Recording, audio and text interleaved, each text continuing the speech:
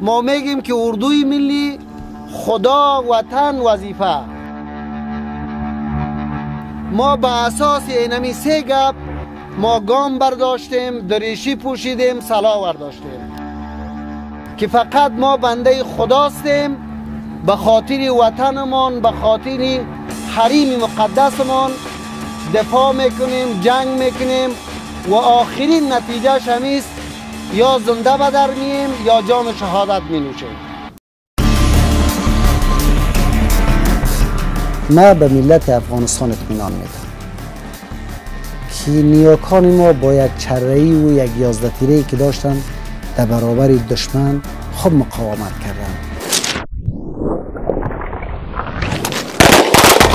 اما این روزی که قطعه خاصی را که یاد دارند استاندارد با تجهیزات ناتو بسیار با کمال افتخار میگیم که ما از وطنمون دفاع کرده می‌تونیم.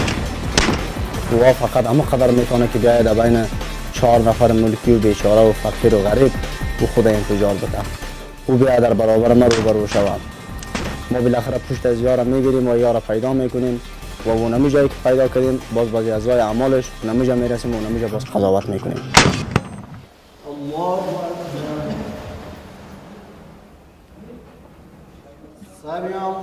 هر منصوب اردو معتقد به است که وقتی که من از خانه میبرایم در راه خدا هستم.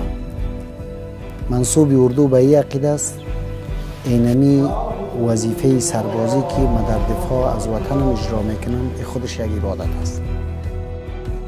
ای که مردم میگه سمت و قوم و قومگرایی هست اینجا ای اصلا کدام اصلی نداره اصل پیش ما اسلام است. ما به اساس همون اصل حرکت می‌کنیم.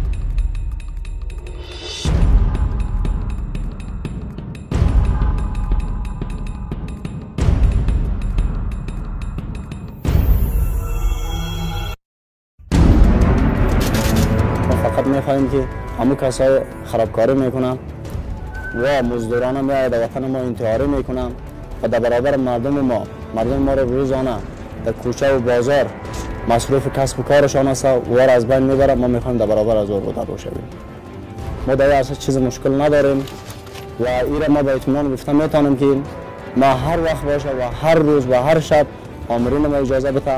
ما یک دقیقه هم صرف نمی‌کنیم و پشت از میریم.